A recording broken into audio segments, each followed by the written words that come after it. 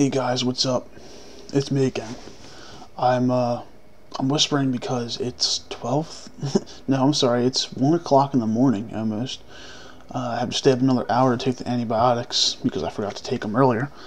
Uh, but anyway, I want to show you my new gun. It's a uh, it's a Charter Arms uh, Pathfinder. Uh, so I've already unboxed this once, but I'm gonna do it again. This is my new primary carry gun. I'm going to put the gun aside for a second. Show you what it came with. Alright. Came with two gun locks. Alright. Don't know why. Two sets of keys. The foam on this thing's kind of cheap, but it works. All Charter Arms revolvers have a lifetime warranty, by the way, guys, but it's not like Taurus. You actually have to pay the shipping, which sucks. Um, anyway, that's for the lifetime warranty. I gotta fill that out. Okay. Um, this is their um, accessories and apparel catalog. It shows you like grips and stuff like that in there, holsters.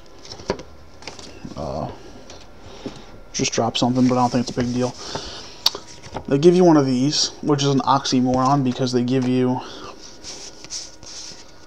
this.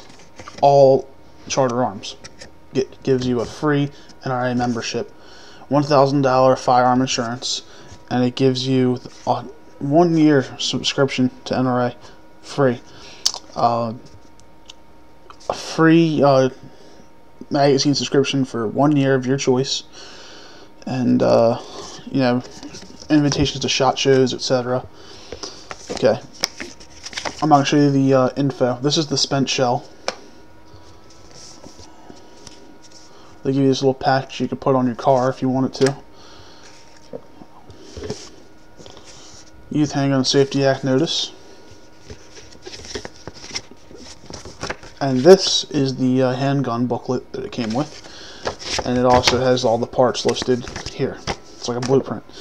Uh, okay, let me put that away real fast. Put all this crap back.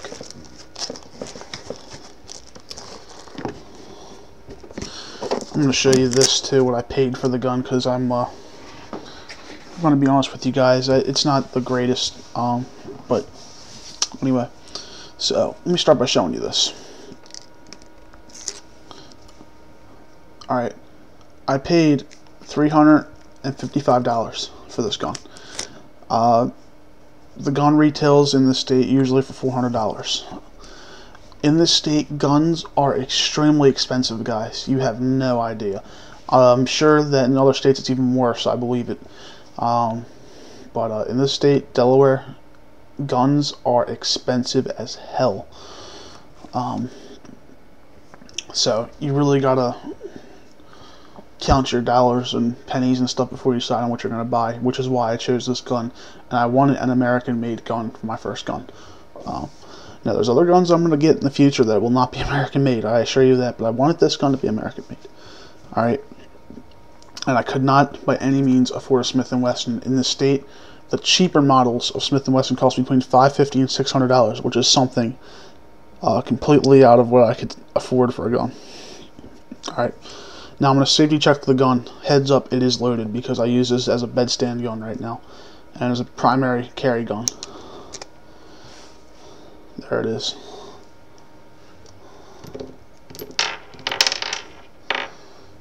Okay, you see how easily that ejected. Okay.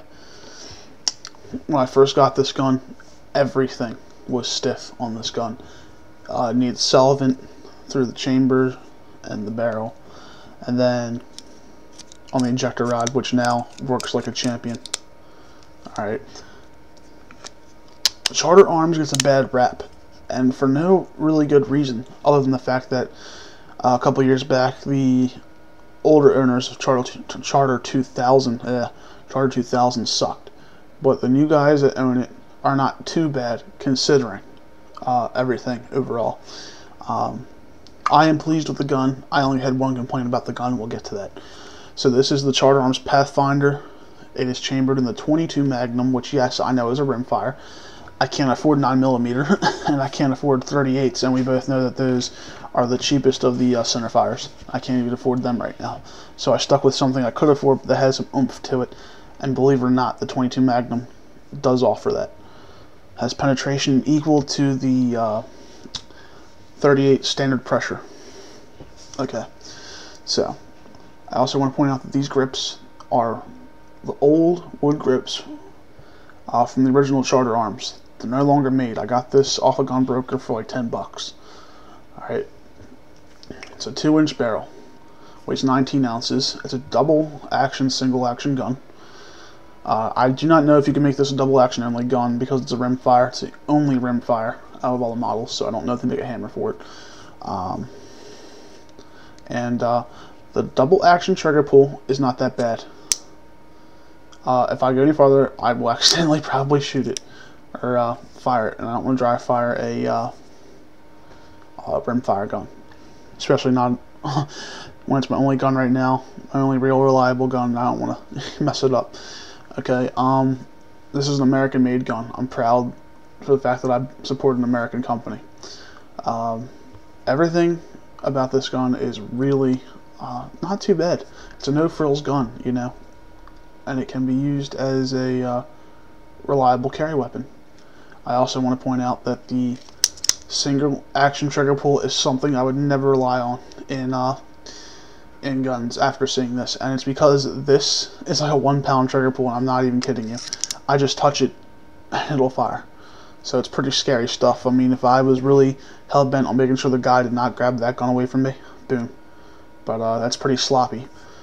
Sights on this gun, same as any other uh, snub nose revolver, which people complain about, but to me it's it's good enough. It's a small picture frame so you get an accurate shot. Not a big deal. 22 Magnum will not kick that much, unlike the 38s and 357s and the 44 specials that they make. Uh, they're the only company I think that makes 44 special. So, uh, something to consider. Sorry, I had to crack my neck. It was killing me. Um, everything else, you know, like I said, stiff out of the, um, that's my finger, by the way, I think.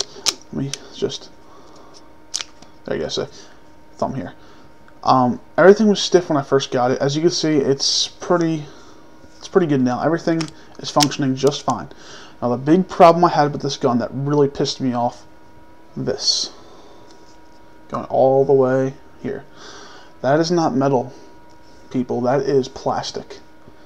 And that really was like a ball buster when I got at him and realized it. Um, especially when I paid $355. Uh, you know, it, doesn't sound like a lot of money to a lot of people, but to me, it's a lot of money. And uh, for you know, plastic being there kind of hurt me. Although my dad pointed out the fact that the Ruger LCR and all these other guns are going to plastic and nylon and stuff like that now. This is actually a polymer or a nylon. I don't know exactly which one it is. I know it's got to be one of the two. Ah, so, uh, so it's a 19 ounce gun, but you know what? It's really loaded and everything. I don't feel it at all when I sit down with this inside the waistband holster for it. Um, now, I only can conceal carry around my house and outside in my backyard and stuff. Oh, and uh, that's about it because I don't have my permit. And like I said, I still use this as a bedstand gun. Um, and it serves its purpose. Remember when I talked to you guys about calibers? I told you I had my reasons for carrying what I carry, and you have yours. Well, this is, I have my reasons. I can't carry a, a, big gun with me to my work. It is tight. Uh, everything is tight that I have to wear. So, I have a tight polo shirt that I gotta wear, and tight black dress pants. so, yeah. Now this is, like I said, a six-shot revolver. Um, and I do have two speed loaders for it, although speed loaders for the charters seem to be kind of awkward to use. If you look at it like this, see this right here? It, the grips, and these grips are actually smaller than the ones that they came with, which are like ugly ass rubber grips that feel so cheap and uncomfortable. But get the wood grips for it, and it, it's not too bad. It really isn't. Um, it's not as well machined per se as a Smith and Wesson, but what really is, you know, you got your uh, Smith and Wessons, your Rugers, and your uh, what's the other one? Uh, Colts. Those three are like the top of the line. Charters, Taurus, and Rossi, and Armscor or whatever. Uh, Cobras. They are not. Now, granted, I used all those names, but Charter is a cut above uh, Cobra and uh, Armscor by a long shot. And I think it's on par with a Rossi. I want to say it's probably better than a Rossi as far as um, you not getting a lemon. because I, I know that a lot more people get the lemons with the Rossis and the Taurus. And it bothered me so much that I don't even want to touch Taurus too much. I might get one or two guns down the road, but there's not too much I really want from them. I mean, I want their model 65 357 revolver. Um, I know I'll tell you that one, but that's about it. um, maybe one of their PT-22s as a plinker, but nothing serious. Uh, look at looking at a Beretta Bobcat in 25. I think I said that before. I also want a. Uh, the next gun I'm saving up for will be a Beretta because there's a Beretta I want. Um, and there's a reason why I wanted over the XDs uh, because of the uh, capacity for the 40 caliber because the XDs only hold a maximum of 12 rounds, which blows. Uh, while their 45 holds an extra round that the 40 doesn't. I don't know how that works, it, but whatever. Um, it's the P by 4 the Beretta P by 4 I held that. That thing is nice. Uh, 14 round magazine, 40 caliber. Yeah, I'm digging one of those. Um, now, other than that, back to this gun. Like I said, no frills. You know, if you don't have a lot of money, this gun is not a bad gun. It really isn't. Uh, people give um, Charter Arms a bad rap, and Charter does not deserve that bad rap. Jeff Quinn talked me into buying one of these, and you know, uh, after handling it, I don't regret it. you know, when I first got it home, I was like, son of a bitch. They ripped me off. I, I had partially plastic for, for my gun, but it, you know, it's not bad and you're paying a little bit more because you're getting an American-made gun. The labor here is more expensive, guys. Just how it is. And I would rather support my nation over uh, Brazil. Uh, I'm not Brazilian. Uh, I have no one in my family that's in Brazil, so I don't care too much about Brazil's economy over uh, my my nation's economy. Now, on the other hand, with the Beretta, I have plenty of family living in Italy, and I do sure as hell care about their well-being, and I am a proud Italian, so I wouldn't mind buying a Beretta, and I wouldn't mind buying a um a Bersa because I have family in uh, Argentina. Yeah, my family migrated all over the place. Um, there's a reason for that. World War II story, and I'll talk about that in another video if you guys are interested. It's a pretty epic story. How my family was divided into two. I don't want to tell you too much. I, I think it'd probably be a cool subject to talk about and make people appreciate what they got.